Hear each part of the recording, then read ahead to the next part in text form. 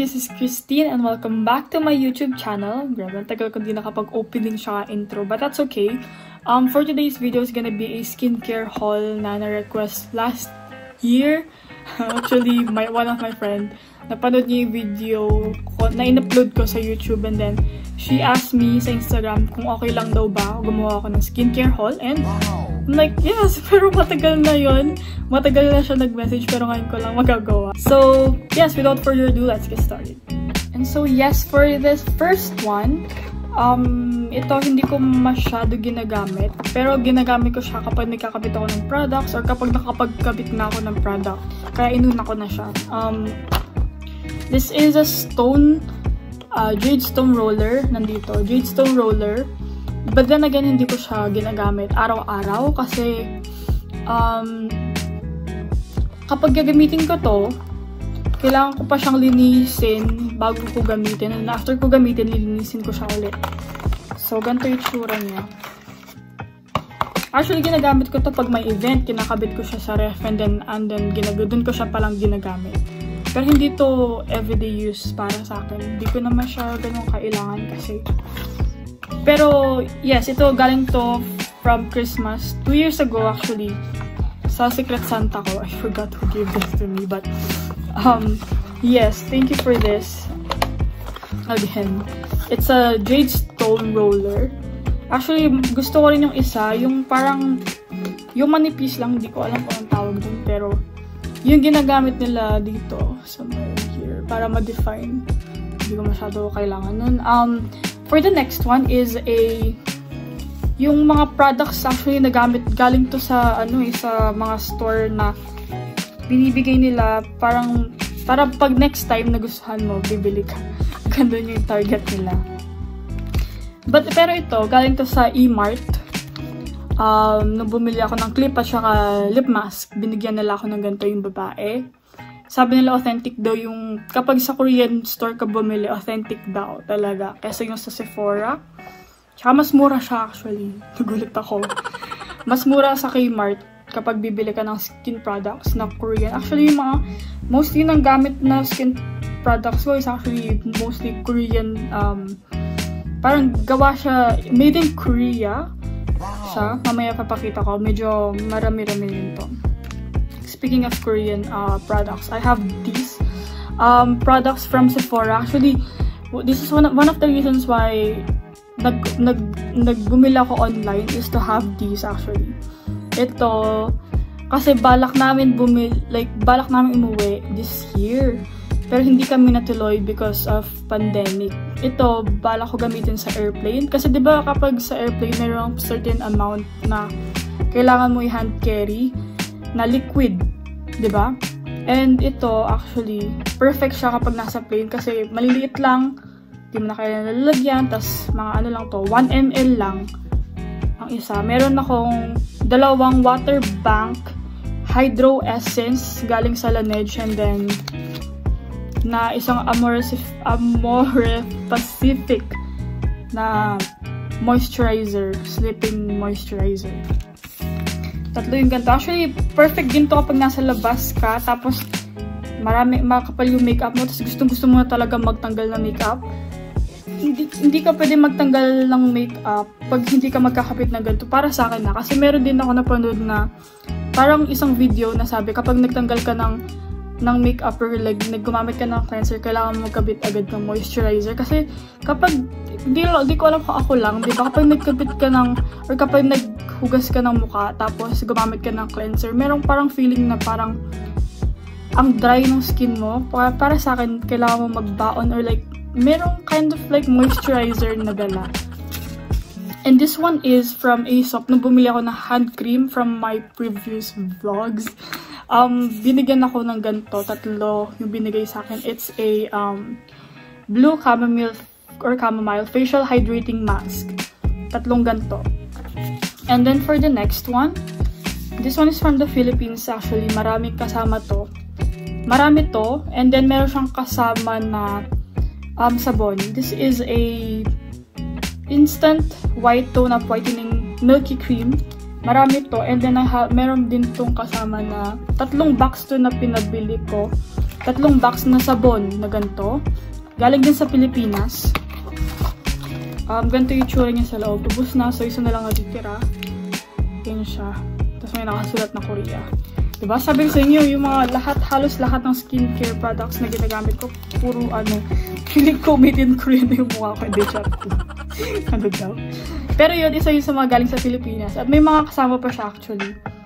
Ito, tsaka itong, ito. Guys, bumili ako nito dahil sa EXO. kasi, um, yes, bumili ako ng ganito. Ah, galing din sa Pilipinas kasi mas mura. We don't have this here sa Canada. Kaya, yun, isa sa mga reason ko bakit nagpabili ako ng ganito. Aloe vera, guys. Obsessed. Grabe. Pati pagdating sa inumin, na aloe vera drinks, yun din ginagamit, uh, iniinom ko mga ganun. Tapos ito, um, mist. Grabe ano pa. Mist. Aloe vera soothing gel, tsaka aloe vera soothing gel mist. Siya. Ginagamit ko to kapag gabi, usually. Or kapag malamig. Lalo na sa winter. Kasama nun is eye, ito rin, eye white. Gamit ko na rin to sa Pilipinas pa bago rin kami makarating dito or like bago kami pumunta dito. Is the eye white uh, aqua moisturizing glow tsaka yung aqua moisturizer whitening vita. Itong dalawa. Meron din sample like maliliit siya na yung maliliit na blue. Ginagamit ko, matagal na itong ginagamit ko. From the Philippines din yung because they don't have it here. Next one is, this is also from the Philippines. It's a Face Republic. I think, merong artist na gumagamit nito. Si Cristel. Grabe na kapag name drop pa. Um, si Cristel Fulgar at saka si... I forgot yung pangalan. Yung anak ni Manny Pacquiao. Um, Emmanuel? I think ginagamit niya to. Uh, it's a sunscreen from Face Republic. This one. Ginamit ko to for my previous vlog. Or video. Yes. Kung may narinig kayo na ano, kala nyo siguro umutot ako. Hindi, yung upuan yun. Ganun. Yeah. Yes. Yung upuan yun. Hindi ako umutot. Um, for the next one is another soap. Ito, hindi ko alam. Hindi ko na siya ginagamit, pero ginagamit ko to kapag may tigyawat ako. Nung pang 3 years ago, ginagamit ko daw. I think it works para sa akin na. Perla, hindi lang ako siguro gumagamit nito. Pati si Papa, gumagamit din siya nito nung mga youth days niya. Or teenage days. Na. Pero yung Perla ginagamit niya, actually meron tong mahabang mahaba to. Ilang peraso to, mga 12 I think. Ginagamit ko to. And for this one, it's actually also from the Philippines. This is expired. Hindi ko siya nagamit. Ito, bala ko, nung binili ko to, nung nasa Pilipinas pa kami, bala ko siya gamitin actually, pero hindi ko siya nagamit nung nandun kami. Kaya hindi dinala ko dito. Eh, na-expired na siya, kaya ang ginawa ko, bala ko siya, ginawa ko siyang ano, parang makeup cleanser, yun na lang ginamit ko. So, wala naman talaga akong pang ang panglinis ng makeup brushes, so ito na lang, kahit expired, yun na okay lang naman. Kasi pagkatapos ko gamitin ito, meron pa isang cleanser na ginagamit ko. Pang wash ng makeup brushes. And yes, ito open na ginagamit ko. Di ko alam kung bakit may cream seal dito, pero I think nasama lang. Pero yes, ginagamit ko yun sa buhok. Siyempre. Speaking of buhok, meron din ako ditong This one is bigay lang. It's a, um, ano ba to? Parang siyang hairspray. Anti-breakage, breakage, breakage keratin oil. Um, it's a, hindi ko alam to. It's a, uh, anti-breakage. Hindi ko siya ginagamit, pero yes. OGX? Oh, hindi ko siya, I never used it.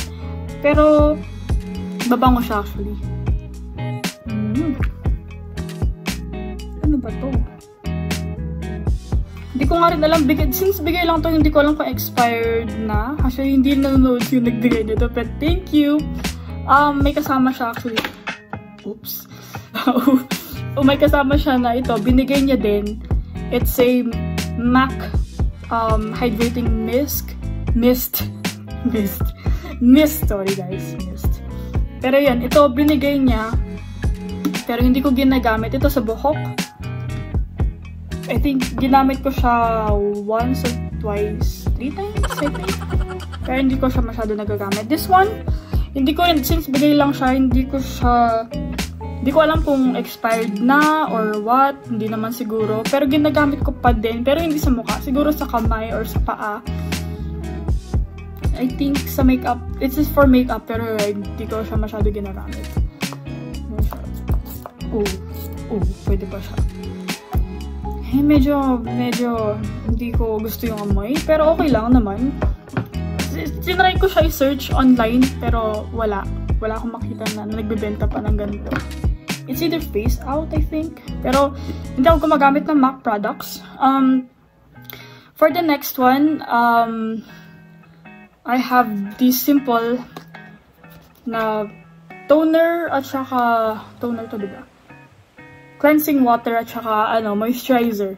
Ito, medyo itong dalawa na to hindi siya magand it's sensitive.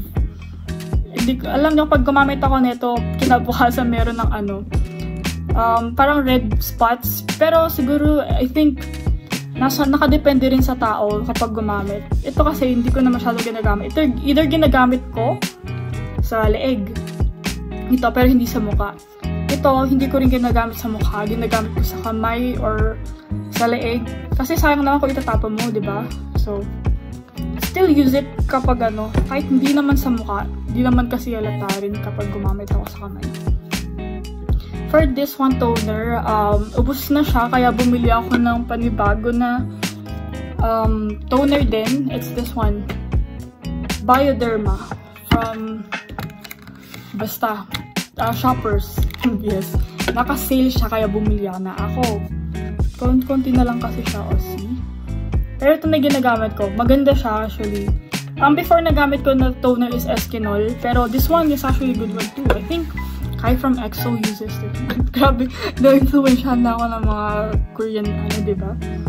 Basta, yes, grabe na, na grabe influensya sa akin ng mga Korean, ano, actors or like K-pop something. But yes, I use this.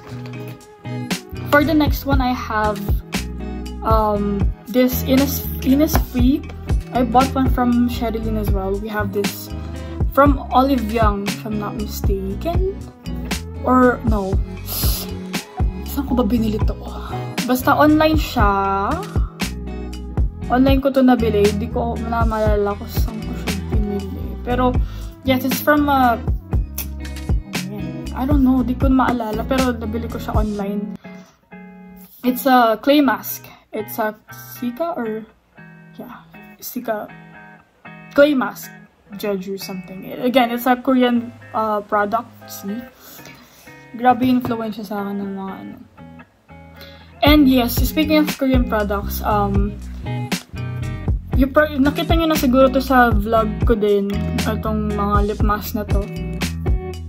I have, uh, itong sample, actually marami, marami na, marami na ako nakitang gumagamit nito. Hindi lang sa mga actresses or like, um, celebrities sa Korea. Marami talaga, kahit dito, yung mga klase ko. Ito yung gamit nila. So, bumili, meron akong binili na parang package siya kasama to. So, tinry ko. Grabe, ang ganda niya. Maganda siya gamitin. Kaya hindi lang siya lip mask, sabi ko pag gabi siya ina-apply. Hindi. Pwede siyang, um, para siyang, ano, lip, lip, lip tint. hindi siya lip tint. Basta, pang lip siya, pero hindi lang siya lip mask na pang gabi bago ka matulog, magkakabit ka ng ganito. Hindi. Kaya bumili na rin ako ng ano, ito na lip tint or lip glow, lip balm. Lip balm, yes. Yun, berry siya. Mahilig ako sa berry, guys. So, actually ito, ito yung una, tapos sumunod ito na lip balm, tapos sumunod tong malaki na galing din sa Kmart naman. Tapos may kasama siyang applicator na nakita na lang din nung last vlogs, vlog ko. So yes, I have these three. And another Laneige product na gamit ko is This one is a sample. Kasama to nung packet na binili ko. Uh, di, di ko binili yung packet, pero kasama niya yung packet na nagbumili ako online. It's a um, Laneige Cream Mist. It's for dry skin. Actually, combination ako, pero this one I use kapag winter dahil dry talaga ang skin mo. Though, I don't, di ko sure kung pwede yung ganun. Kung combination ka tapos gamit mo dry skin. Mas mag-oily yung mukha mo, pero ginagamit ko siya kapag, ano, kapag lalabas ako, lalo na pag, pag winter, yun ginagamit ko talaga. And yes, so for another one is a Laneige, um, what's this? Waterbank Hydro Gel. Ganito yung itsura niya sa loob. Oops. Ganito yung itsura niya sa loob. Um, ganito. Again, mabango siya actually. Mabango siya. Ganito siya, para siyang gel talaga. Sabi, hindi ko alam kung makikita niya. Pero siya ganun. Ganun. Tinitipid-tipid ko lang to kasi medyo may kamahalan siya. Pero, yes. Another one, and this one is an applicator na kasama nito. Mask. Um, it's a Laneige sleeping uh, water mask. Water sleeping mask, yun. Um, yung consistent, yung, ano yung ganito itsura niya. Blue. Gusto ko yung green din. Siya, may, may green sila, tsaka lavender. Sika and lavender. Sika ba yung pronunciation I think, yes. Or not perfect. So, but yes, this is, it smells good actually. Yes. Binigyan, uh, this one is a sticker from Laneige. Another one is a this one. You guys see then again, diba? Because of Jungkook. I think Jungkook uses this. Kasi, pero yung binigay, yung ginagamit niya is yung parang Vaseline talaga na parang ganito yung itsura niya na yes, ganito. Na malalim siya. Hindi siya yung ganito. Pero it's the same. Vaseline na rose ang gamit niya sa lips. Uh, this one is um, actually powder too eh. Kasi yung powder, baby powder namin nasa banyo sa taas pa. Eh, since malaki yun, dun lang talaga siya. So, nagkabit ako na lang dito. It's a powder. Baby powder. Na ginagamit ko dito sa nose. Okay, dito sa nose. Kasi, pagkatapos ko maligo, medyo malagkit siya. ba diba? Merong, kapag nagkabit ka ng moisturizer, masakit siya. So, nagkakabit ako ng konting powder dito. Another lip, ano, is a lip scrub from Lush. Uh, this was uh, a gift from Leon Sherilyn. It's a lip scrub, but I rarely use it as well. Pero mabango siya. Ang grabe mo. It's a funfetti cake. Lip scrub. Pero hindi ka naman kailangan. Kaya hindi siya kailangan masyado. Pero ginagamit ko pa din.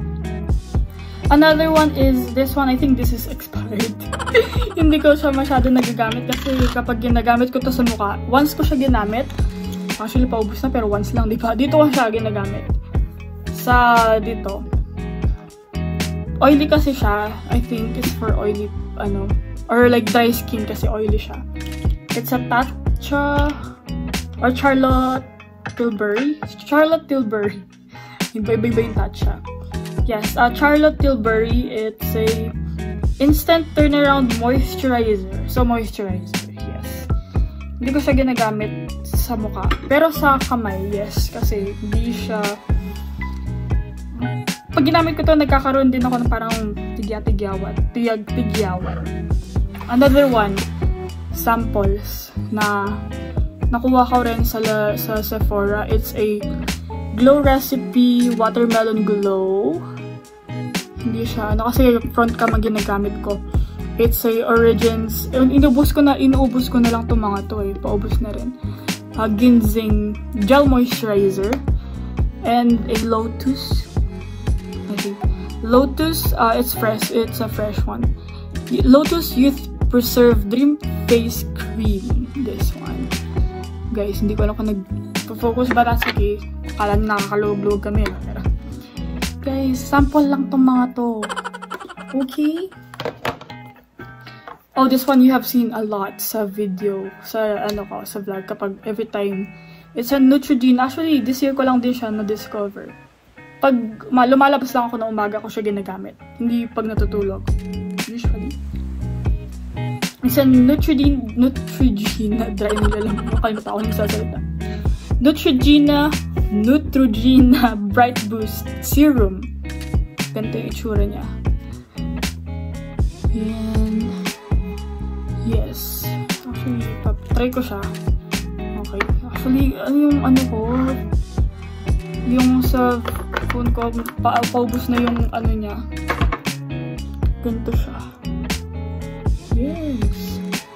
Actually, nakita niya na siya nung sa vlog ko eh. Ma, ano talaga siya. Shiny! Pero, mabango siya. Mabango.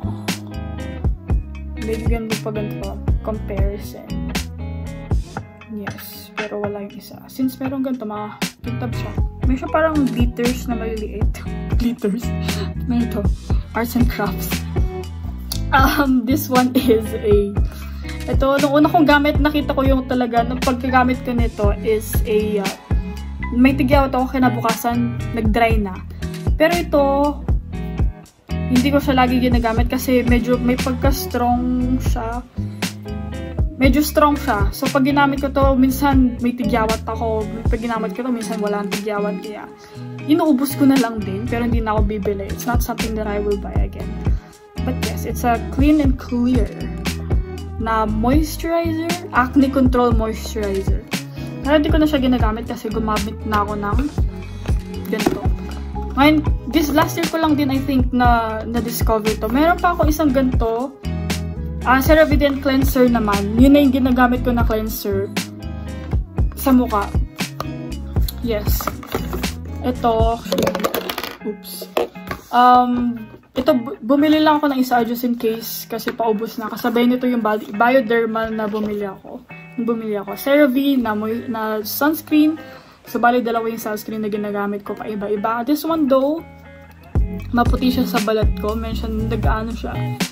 Nag-leave ng parang white mask. Ay, cast ba yung tawag doon? White cast sa skin.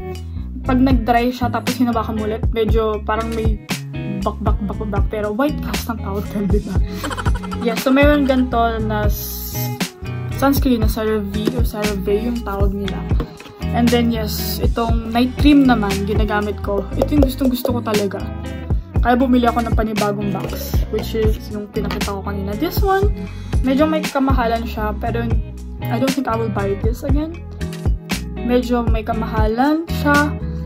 It's a hydrating serum with hyaluronic acid. I can't pronounce that right. This one. Kapag ito, pag nag-dry siya, medyo nagbabak-bak-bak-bak siya. Pag natulog ka kinabukasan, meron ng bak-bak-bak-bak dito na, hindi naman yung balat mo, pero yung, ano siya, yung serum, na bak-bak siya. So, I think this is good for um, morning. Yes, siguro morning to. Kasi kapag natulog ka, kinabukasan talagang meron ng bakbak dito talaga. Another one, guys, meron, ever since I came here, meron na akong, nagkaroon ako ng chicken skin or like what we call um, keratosis pilaris. Yun ba yung tawag doon? Basta ganun.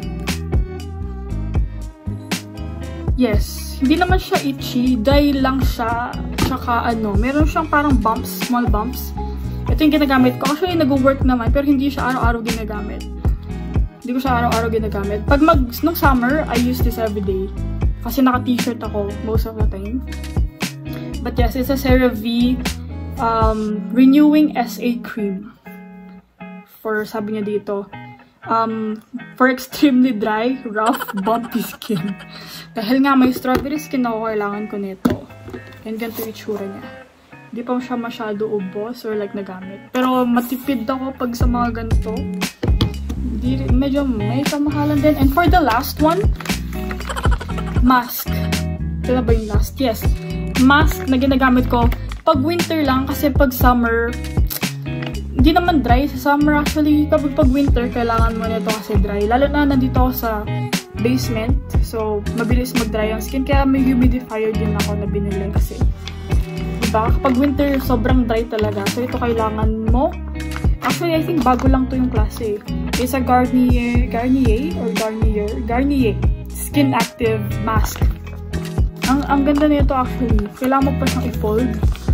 Tapos lalaro-laruin mo pa. Alam mo, I tried this sa table, after we ate, nasa table kami. Doon ko siya finol, tapos nandun sila, sila papa. And they're, they're all there. Nandun sila lahat. Talagang, syempre kailangan mo talaga siyang i-ano mo talaga, pigain mo para yung yung liquid pumunta dito sa may ano, sa may ano to, to, sa may mask talaga. Ginanon-ganon ko siya, sabi, dahan-dahan ka baka biglang baka biglang mabuksan yan. Actually, hindi naman. Actually, natakot din ako gamitin to. Ginanon-ganon ko siya. I'll probably try to use this tonight.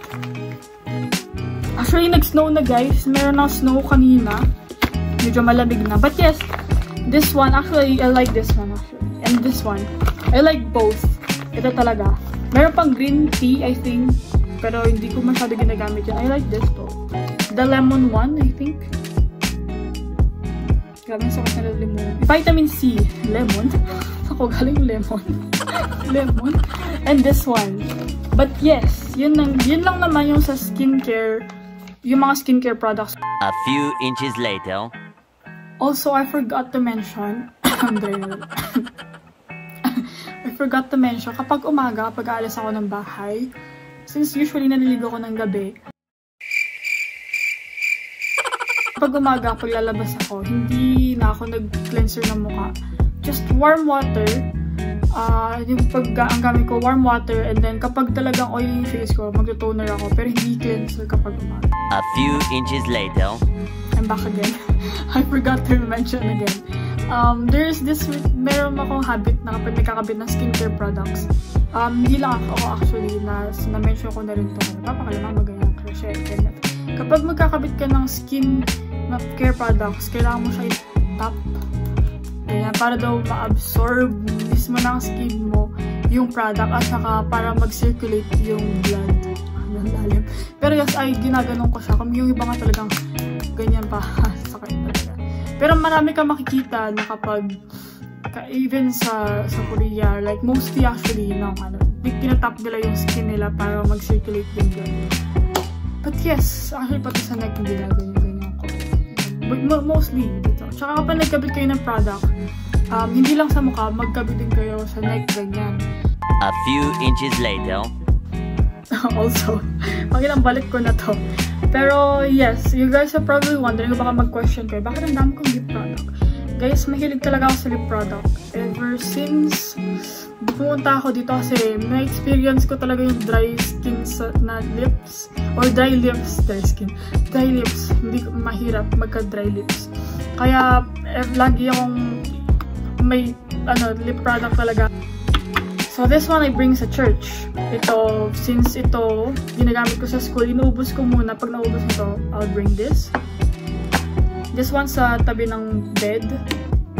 Nag-iiba-iba siya. Ito rin dito, sa table dito. Tapos meron pang isang ganito. Sa taas naman, um, sa table, dun sa may living room ko saan ako usually nag-aaral. But yes, yun lahat, medyo marami-rami siya. Sa bag ko rin, merong sa school, hindi lang ito din eh. Meron pa isang Burt's Bees din na pomegranate, I think, na gamit ko. So, marami siya. Marami siya. Hindi lang, ano. So, ganun ako kahilig. Doon ako, ganun ako kahilig. Ganun ako, grabe, Basta, mahilig ako sa mga lip care products. But yes, that's everything. And I'll see you guys on the next vlog.